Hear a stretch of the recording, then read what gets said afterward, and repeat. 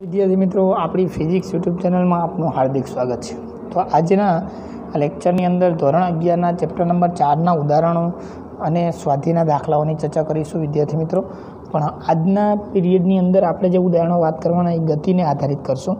તો આપણને કીધેલું છે કે ઉદાહરણ ચાર પોઈન્ટ ચારની રકમમાં કે કોઈ કણનું સ્થાન આર બરાબર કેટલું છે? તો કે આ સમીકરણ આપેલું છે કે આર બરાબર ત્રણ આઈ ત્રણ T I caret plus two T square, J caret plus પાંચ કે કેરેટ.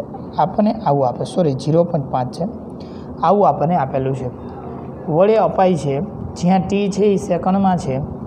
ટી છે સેકન્ડમાં સહગુણકોનો એકમો એવી રીતે જેથી આર મીટરમાં તો કણના વેગ તથા પ્રવેગ શોધો. તો વિદ્યાર્થી મિત્રો, આપણે કણનો વેગ મેળવવાનો છે. એટલે કે આ જેનું સ્થાનાંતરનું સમીકરણ, આ એટલે શું થઈ જશે? સ્થાનાંતર. તો આ સ્થાનાંતરનું સમીકરણ છે. તો આપણે આને શું કરવાનું છે? વેગ મેળવવાનો. તો આપણને ખબર છે કે ચેપ્ટર નંબર ત્રણમાં ભણી ગયા કે કોઈ પણ સ્થાનાંતર હોય અથવા અંતર, એનું તમે એક વખત સમયની સાપેક્ષે વિકલન કરો, એટલે વેગ મળે. ચાલો, તો આ ખાસ ધ્યાન આપજો. તો હવે પદાર્થનું, પદાર્થનો વેગ મેળવવા સમીકરણનું ટીની સાપેક્ષે.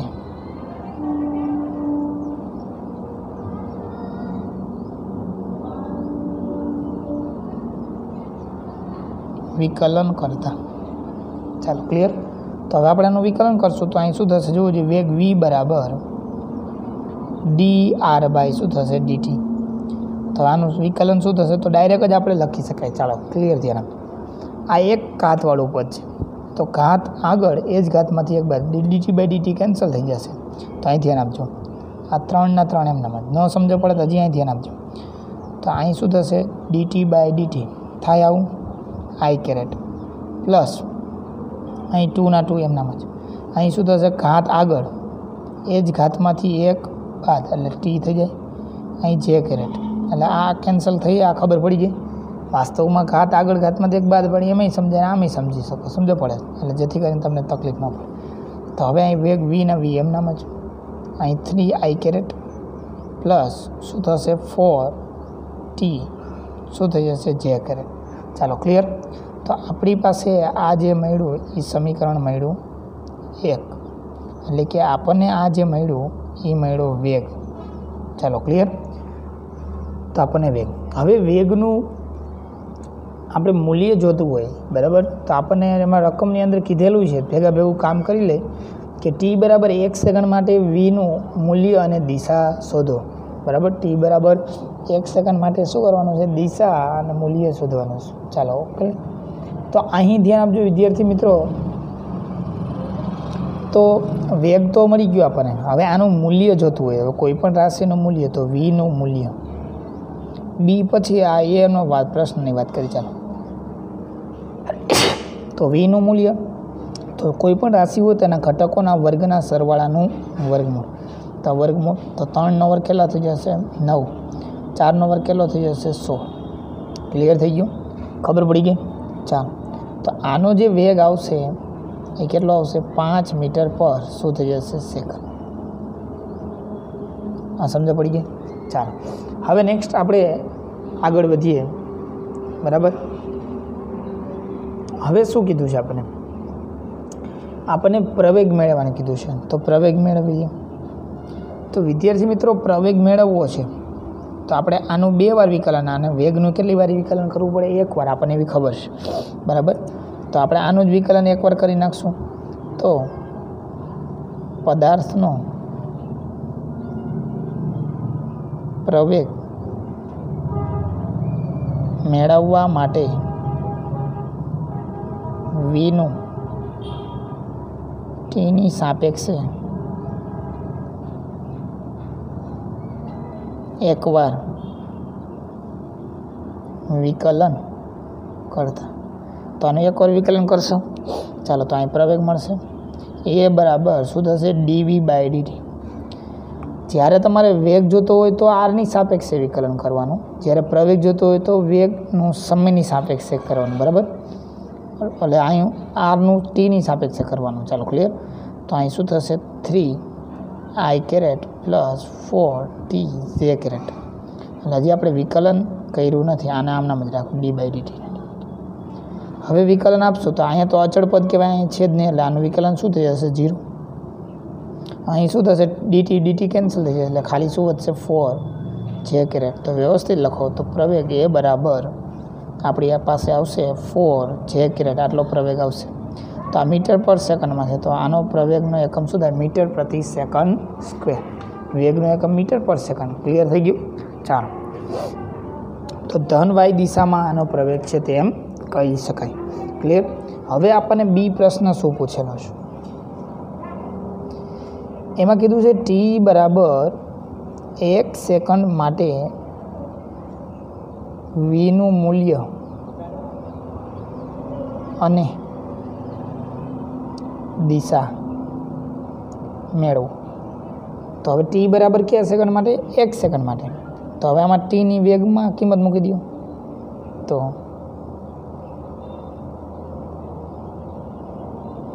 માં ટી બરાબર એક. મૂકતા. તો મૂકી દેશો તો શું થશે? વીના વી એમનામાં થ્રી આઈ કેરેટના થ્રી આઈ એ કેરેટ એમનામાં ફોર જે કેરેટના જે કેરેટ એમના ચાલો ક્લિયર થઈ ગયું? આ વસ્તુ ખબર પડે? તો એનું મૂલ્ય જોવે છે આપણી પાસે. તો આ તો સદીશ રાશિ, સદીશ આવ્યું હવે એનું મૂલ્ય જોવે છે માન. તો તેના ઘટકોના વર્ગ તો આપણે મૂલ્ય મેળવ્યું. તો આ નવ અને કેટલા થઈ જશે? સોળ. તો આજે મેળવ્યું એ એક સેકન્ડ માટે જ મેળવ્યું. કયું ક્લિયર તો અહીં કેટલા થઈ જશે? પચીસ. અને અહીં શું થશે? પાંચ મીટર પર શું થઈ જશે સેકન્ડ ક્લિયર ચાલો. હવે દિશા મેળવવી છે. હવે દિશા મેળવવી એટલે મેં તમને કીધું કે ખૂણો મેળવવો. હવે વિદ્યાર્થી મિત્રો, જ્યારે ખૂણો મેળવવા માટે આપણી પાસે કોસ થીટા અને સાઇન થીટા ઘટક હોવા જોઈએ. એની બદલીમાં આપણે એવું વિચારી શકાય કે એક્સ ઘટક અને વાય ઘટક જોઈએ. તો એ આપણી પાસે થઈ શકે. તો અહીં ધ્યાન આપજો. આ જે વેગ છે બરાબર? તો અહીં તમને સમજાવી દઉં કે આ જે સદીશ્રીઓ, આ ઘટક છે એ વેગનો કયો ઘટક કહેવાય? વાય ઘટક કહેવાય. જ્યારે આ વેગનો કયો ઘટક કહેવાય? એક્સ ઘટક કહેવાય. ક્લિયર તો હવે તમે ધારો કે હું સમજાવવા માટે આપણે આગળ ભણાવ્યું હતું, દિશા મેળવવી છે. ધારો કે આ સદીશ આમ છે. આ વેગનો વી સદીશ આમ છે. એ બી સી ડી લઈ શકો સમજવા માટે. તો આ થીટા તો આ વેગનો એક્સ ઘટક કહેવાય. આ વેગનો શું કહેવાય? વાય ઘટક. ક્લિયર તો ટેન થીટા બરાબર આ ત્રિકોણ બનાવો. તો ટેન થીટા બરાબર સામેની બાજુ. સામેની બાજુ એટલે વાય ઘટક કહેવાય. આ વી વાય કારણ કે આમ ચાલ્યા જાઓ કહેવાય?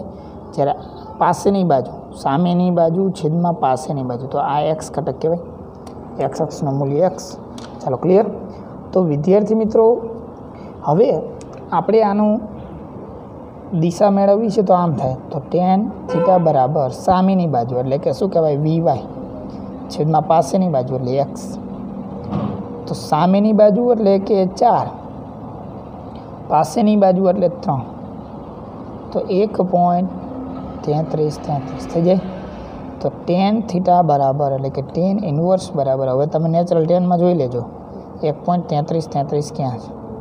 ક્લિયર તો તમારી પાસે લગભગ એનો જવાબ આવશે ત્રેપન અંશ અને અઠ્યાવીસ કળા.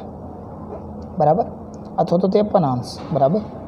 કોની સાથે ખૂણો બનાવ્યો કહેવાય? એક્સ અક્ષ સાથે. ક્લિયર થઈ ગયું? ચાલો. એક્સ અક્ષ સાથે ત્રેપન અંશ અને અઠ્યાવીસ કળાનો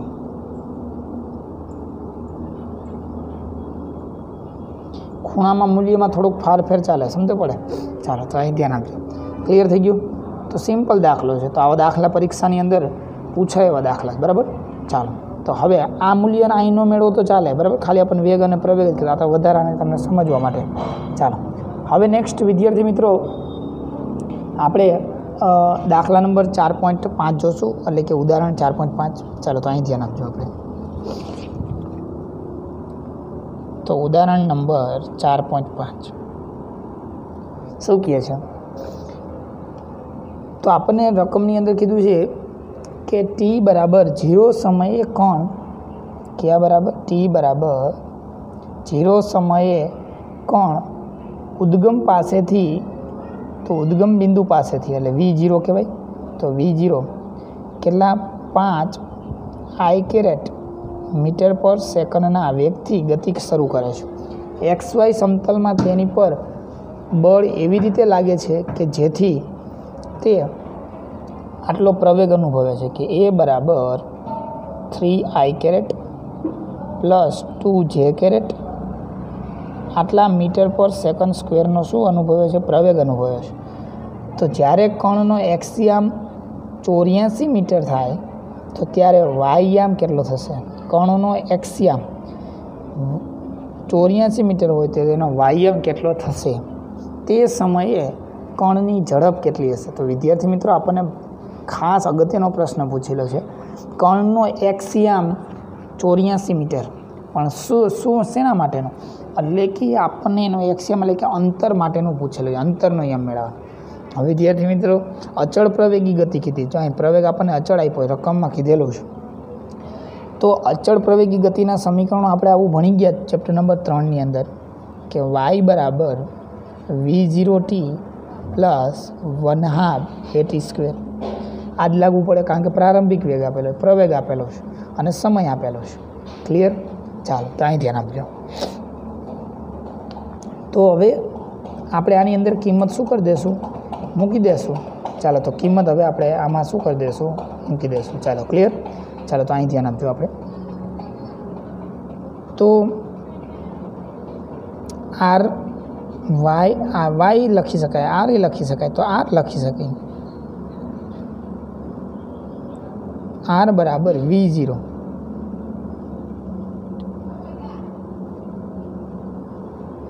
સદીશ રાશિ છે એટલે આપણે અહીં સદીશ રાશિ દર્શાવી દઈએ. ક્લિયર ચાલો. તો અહીં આરના આર એમનામ જ. વી જીરો એટલે પાંચ i caret Tina T M as it is one by ટુના one by two એમના. થ્રી આઈ કેરેટના આઈ કેરેટ એમનામ જ. ટુ જે કેરેટ એમનામ જ. ટી સ્ક્વેરના ટી સ્ક્વેર એમના. ક્લિયર ચાલો. હવે આપણે આને અંદર ગુણાકાર કરવો પડશે. ચાલો, તો અહીં ધ્યાન આપજો. સાદરૂપ આપી દઈએ. પાંચ આઈ કેરેટ પ્લસ અહીં સદીશ રાશિ એટલે આપણે આવું બધું બતાવવું જોઈએ. આગળના ચેપ્ટરમાં આપણે આવું નહોતા બતાવ્યું. અહીંયા સંખ્યા જ આવતી હતી. બરાબર? ચાલો. તો અહીંયા ત્રણ ભાગ્યા બે એટલે શું થશે? એક પોઈન્ટ પાંચ આઈ કેરેટ પ્લસ બે બે ભાગાકાર કેન્સલ થઈ જશે. એટલે એક. અને અહીં શું થઈ જશે? જોવો જે ટી સ્ક્વેરના ટી સ્ક્વેર એમના T સ્ક્વેરના T square as it is ચાલો ક્લિયર હવે આપણે હજી અહીં ધ્યાન આપજો. આઈવાળા પદને એક બાજુ ભેગા કરી લેશું. અને જે વાળા પદને એક બાજુ. તો આ ટી તો એમનામ જ. તો અહીં જોવો છે ફાઈવ ટી પ્લસ આ આમાં ટી સ્ક્વેર આમાં આવે એક પોઈન્ટ પાંચ.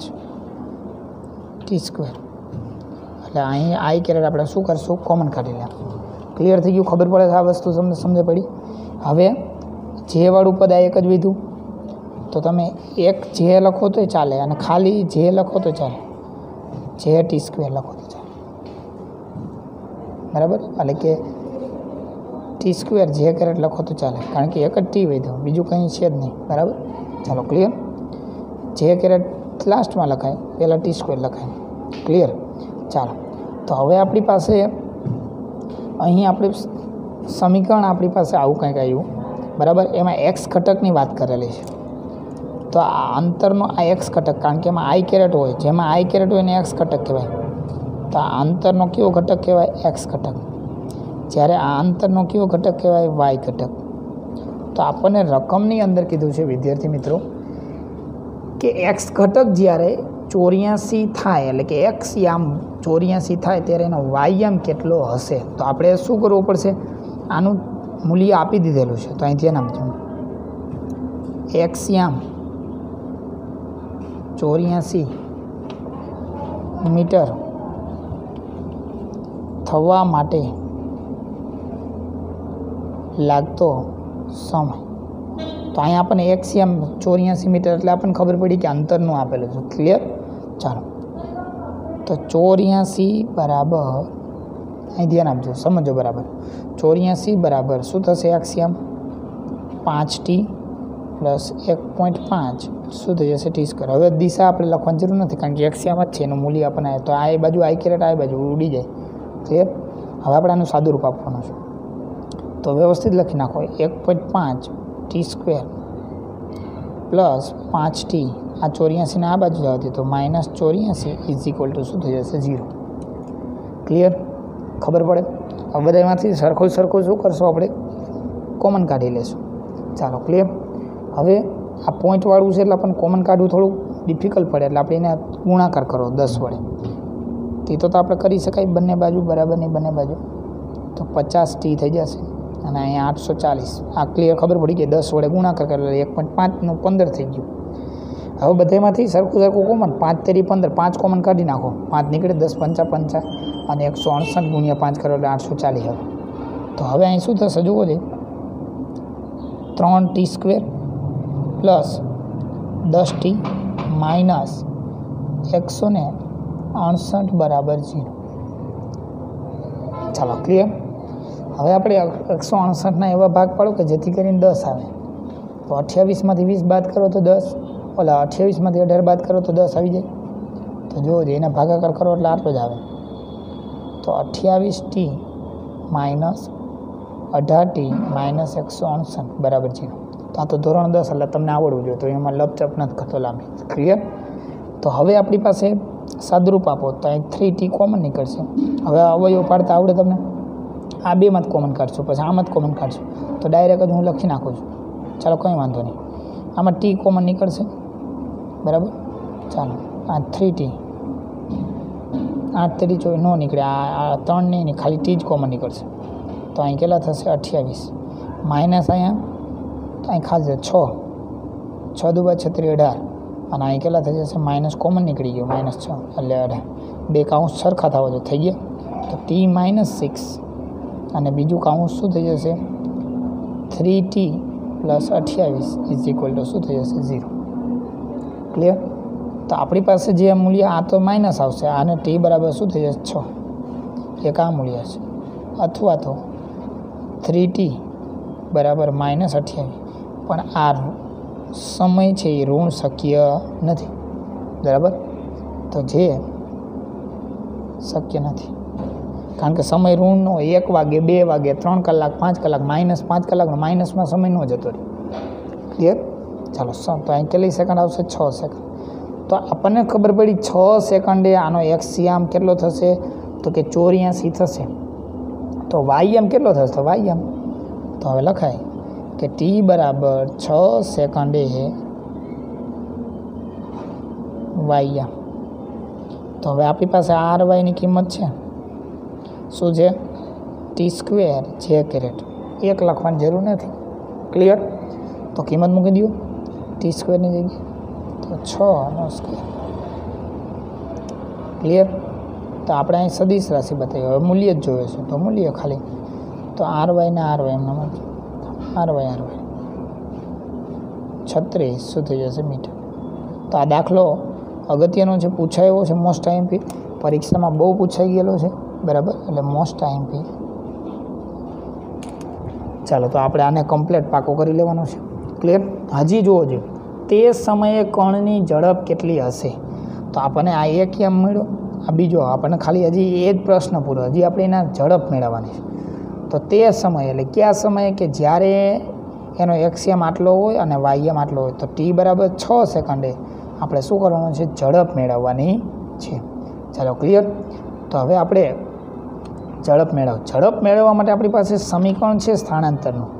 બરાબર? આ સ્થાનાંતરના સમીકરણનું આપણે સમયની સાપેક્ષે શું કરી નાખીશું? વિકલન કરી નાખી એટલે આપણને ઝડપ મળી જાય. આ વસ્તુ ક્લિયર ખબર પડી ગઈ? આ વસ્તુ સમજો પડે? સમયની સાપેક્ષે આપણે આનું શું કરી નાખશું? વિકલન કરશું એટલે વિકલન કરીએ એટલે મળી જાય. ચાલો તો અહીંથી નાખજો તો વેગ મેળવવા.